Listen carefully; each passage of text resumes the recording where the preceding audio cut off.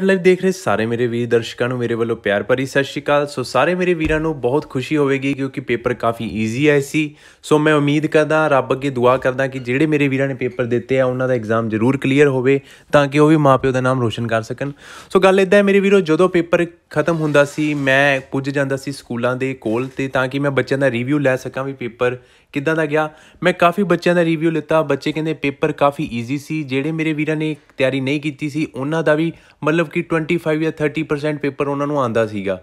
ਤੇ ਜਿਹੜੇ ਮੇਰੇ ਵੀਰਾਂ ਨੇ ਤਿਆਰੀ ਕੀਤੀ ਸੀ, ਉਹਨਾਂ ਦਾ 80% ਦੇ ਲਗਭਗ ਉਹਨਾਂ ਨੂੰ ਪੇਪਰ ਆਂਦਾ ਸੀਗਾ। ਤੇ ਉਹ ਕਹਿੰਦੇ ਵੀ ਸਾਨੂੰ ਉਮੀਦ ਹੈ ਸਾਡਾ ਕੁਆਲੀਫਾਈ ਤੋਂ ਬਾਅਦ ਨੰਬਰ ਆਵੇਗਾ ਤੇ ਅਸੀਂ ਜ਼ਰੂਰ ਫਿਜ਼ੀਕਲ ਟ੍ਰਾਇਲ ਦੇ ਵਿੱਚ ਹਾਜ਼ਰ ਹੋਵਾਂਗੇ। ਤੇ ਨਾਲ ਹੀ ਮੈਂ ਅਫਸਰਾਂ ਨਾਲ ਗੱਲ ਕੀਤੀ। ਅਫਸਰ ਕਹਿੰਦੇ ਵੀ ਜੇ ਅਗਰ ਲਗਭਗ ਮੰਨੀਏ ਕਿ ਬੱਚਿਆਂ ਦੀ ਕਾਫੀ ਗਿਣਤੀ ਘੱਟ ਹੋ ਗਈ ਹੈ, ਕਿਉਂਕਿ ਉਹ ਬੱਚੇ ਦੂਰ ਦਰਾਡੇ ਸਟੇਸ਼ਨ ਹੋਣ ਕਰਕੇ ਪੁੱਜੇ ਨਹੀਂ। ਤੇ ਲਗਭਗ ਐਗਜ਼ਾਮਪਲ ਲਾ ਲਓ ਵੀ 400 ਬੱਚਾ ਜੇ ਅਗਰ ਇੱਕ ਸਕੂਲ ਦੇ ਵਿੱਚ ਬੈਠਦਾ, ਉਸ ਦੇ ਵਿੱਚੋਂ 150 ਜਾਂ 200 ਬੱਚਾ ਹੀ ਹਾਜ਼ਰ ਸੀਗਾ ਤੇ ਲਗਭਗ 200 ਬੱਚਾ ਗੈਰ ਹਾਜ਼ਰ ਸੀ। ਜਿਸ ਕਰਕੇ ਕਾਫੀ ਉਮੀਦ ਉਠਾਈ ਜਾ ਰਹੀ ਹੈ ਕਿ ਪਰਸੈਂਟੇਜ ਹਾਈ ਵੀ ਜਾ ਸਕਦੀ ਹੈ ਤੇ ਲੋ ਵੀ ਜਾ ਸਕਦੀ ਹੈ, ਜਿਸ ਕਰਕੇ ਪਰਸੈਂਟੇਜ ਦਾ ਜੇ ਅਗਰ ਤੁਸੀਂ ਮੰਨ ਲਓ ਵੀ ਹੁਸ਼ਿਆਰ ਬੱਚਾ ਪੇਪਰ ਦੇਣ ਆਇਆ ਤੇ 60 ਦੇ ਕਰੀਬ ਜਾਵੇਗੀ, ਠੀਕ ਹੈ ਜੀ। ਜੇ ਅਗਰ ਬੱਚਾ ਹੁਸ਼ਿਆਰ ਦੇ ਵਿੱਚੋਂ 30% ਤੁਸੀਂ ਮੰਨ ਲਓ ਵੀ ਬੱਚਾ ਹੁਸ਼ਿਆਰ ਹੈ ਤੇ 80 70% ਤੁਸੀਂ ਮੰਨ ਲਓ ਬੱਚਾ ਮਤਲਬ ਕਿ ਤਿਆਰੀ ਨਹੀਂ ਕਰਕੇ ਆਇਆ, ਤਾਂ ਪਰਸੈਂਟੇਜ ਲਗਭਗ 55 ਜਾਂ 50 ਦੇ ਵਿੱਚ ਵਿੱਚ ਜਾ ਸਕਦੀ ਹੈ, ਠੀਕ ਹੈ ਜੀ? ਤੇ ਆਪਾਂ ਇੰਨਾ ਕੁ ਉਮੀਦ ਲਾ ਸਕਦੇ ਹਾਂ ਕਿਉਂਕਿ ਇਦਾਂ ਵੀ ਕਨਸਟੇਬਲ ਦੇ ਵਿੱਚ ਹਾਈ ਜਾ ਸਕਦੀ ਹੈ ਕਿਉਂਕਿ ਉਸ ਦੇ ਵਿੱਚ ਲਗਭਗ ਹਾਈ ਵਾਵਾ ਬੱਚੇ ਪੁੱਜੇ ਸੀ ਸਕੂਲਾਂ ਦੇ ਵਿੱਚ।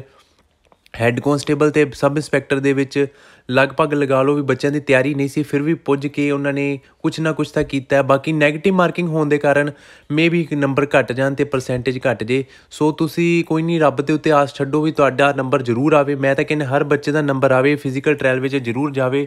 ਬਾਕੀ ਉਸ ਗਵਰਨਮੈਂਟ ਦੀ ਇੱਛਾ ਹੈ ਤੇ ਪ੍ਰਮਾਤਮਾ ਦੀ ਇੱਛਾ ਹੈ ਕਿ ਇਸ ਬੱਚੇ ਨੂੰ ਮਤਲਬ ਕਿ ਜੌਬ ਦੀ ਸਿਲੈਕਸ਼ਨ ਮਿਲਣੀ ਹੈ। ਤੇ ਬਾਕੀ ਤੁਹਾਨੂੰ ਪਤਾ ਸੀਟਸ ਵੀ ਘੱਟ ਨੇ, ਇੰਨੀਆਂ ਸੀਟਸ ਹੈ ਨਹੀਂ ਕਿ 5 ਲੱਖ ਬੱਚਾ ਜੇ ਅਗਰ ਪੇਪਰ ਭਰਿਆ ਤਾਂ 5 ਦੇ 5 ਲੱਖ ਨੂੰ ਮਿਲ ਜੂਗੀ ਜੌਬ ਹਨਾ ਜੀ? ਤੇ ਇਹ ਤਾਂ ਤੁਹਾਡੀ ਹੁਣ ਮਿਹਨਤ ਤੇ ਡਿਪੈਂਡ ਹੈ ਤੇ ਤੁਹਾਡੇ ਜਿਹੜੇ ਮਾਰਕਸ ਆਣਗੇ ਵੀ ਜਿਹੜੇ ਤੁਸੀਂ ਕਰਕੇ ਆਏ ਹੋ, ਉੱਥੇ ਆਪਣਾ ਜਿਹੜਾ ਉਹ ਐਗਜ਼ਾਮ ਨੂੰ ਕੰਡਕਟ ਜਿਵੇਂ ਤੁਸੀਂ ਦੇ ਕੇ ਆਏ ਹੋ ਐਗਜ਼ਾਮ ਹਨਾ ਜੀ? ਤੇ ਮੈਂ ਉਮੀਦ ਕਰਦਾ ਮੇਰੇ ਵੀਰੋ ਤੁਸੀਂ ਲੈ ਕੇ ਵਧੀਆ ਮਾਰਕਸ ਆਉਂਗੇ ਤੇ ਤੁਸੀਂ ਮੈਨੂੰ ਜਰੂਰ ਕਮੈਂਟ ਕਰਕੇ ਦੱਸੋਗੇ ਵੀ ਮੇਰਾ ਨੰਬਰ ਆ ਗਿਆ। ਤੇ ਬਾਕੀ ਆਨਸਰ ਕੀ ਹੈ ਜਿਹੜੀ ਤੁਹਾਨੂੰ ਹੁਣ 3 ਜਾਂ 4 ਦਿਨਾਂ ਦੇ ਵਿੱਚ ਅਪਲੋਡ ਹੋ ਜਾਵੇਗੀ, ਤੁਸੀਂ ਆਪਣੀ ਆਫੀਸ਼ੀਅਲ ਜਿਹੜੀ ਵੈਬਸਾਈਟ ਹੈ ਉੱਥੋਂ ਤੁਸੀਂ ਡਾਊਨਲੋਡ ਕਰਕੇ ਮੈਚ ਕਰ ਲੈਣਾ। ਮੈਚ ਕਰਨ ਤੋਂ ਬਾਅਦ ਤੁਸੀਂ ਕੀ ਕਰਨਾ ਹੈ? ਸਕਰੀਨਸ਼ਾਟ ਜਰੂਰ ਲੈ ਲੈਣਾ ਆਪਣੀ ਆਨਸਰ ਕੀ ਦੇ ਤੇ ਆਪਣੇ ਆਨਸਰਸ ਨੂੰ ਜਰੂਰ ਫੋਟੋ ਖਿੱਚ ਲੈਣਾ ਜਿਹੜੀ ਤੁਹਾਨੂੰ ਉਹਨਾਂ ਨੇ ਓਐਮਆਰ ਸ਼ੀਟ ਦਿੱਤੀ ਹੈ।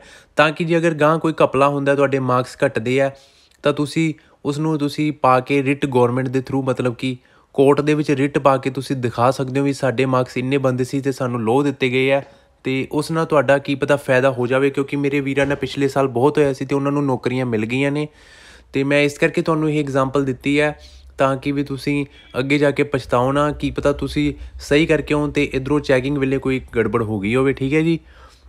ਵੈਸੇ ਅੱਜ ਕੱਲ੍ਹ ਆਮ ਆਦਮੀ ਪਾਰਟੀ ਨੇ ਕਾਫੀ ਸਟ੍ਰਿਕਟਨੈਸ ਨਾਲ ਪੇਪਰ ਲੈਣੇ ਸ਼ੁਰੂ ਕੀਤੇ ਹੈ ਅਤੇ ਇੱਦਾਂ ਹੁੰਦਾ ਤਾਂ ਨਹੀਂ, ਠੀਕ ਹੈ ਜੀ? ਅਤੇ ਤੁਸੀਂ ਬਾਕੀ ਰੱਬ ਦੇ ਅੱਗੇ ਆਸ ਰੱਖੋ ਅਤੇ ਰੋਜ਼ ਅਰਦਾਸ ਕਰਿਆ ਕਰੋ ਜਾ ਕੇ ਗੁਰਦੁਆਰੇ ਤਾਂ ਕਿ ਤੁਹਾਡਾ ਨੰਬਰ ਆ ਜਾਵੇ, ਕਿਉਂਕਿ ਹੁਣ ਪਰਮਾਤਮਾ ਨੇ ਕਰਾਣਾ ਜੋ ਵੀ ਕਰਾਣਾ ਠੀਕ ਹੈ ਜੀ? ਤੁਸੀਂ ਤਾਂ ਆਪਦਾ ਮਤਲਬ ਕਿ ਪੇਪਰ ਦੇ ਆਏ ਹੋ ਤੇ ਮੈਂ ਉਮੀਦ ਕਰਦਾ ਸਾਰੇ ਮੇਰੇ ਵੀ ਸਿਲੈਕਟ ਹੋਣਗੇ ਤੇ ਬਾਕੀ ਤੁਸੀਂ ਮੇਰੀ ਵੀਡੀਓ ਨੂੰ ਲਾਈਕ ਕਰ ਦਿਓ ਪੇਜ ਨੂੰ ਸਬਸਕ੍ਰਾਈਬ ਕਰ ਦਿਓ ਤੇ ਸ਼ੇਅਰ ਕਰੋ ਆਪਣੇ ਫਰੈਂਡਸ ਨੂੰ।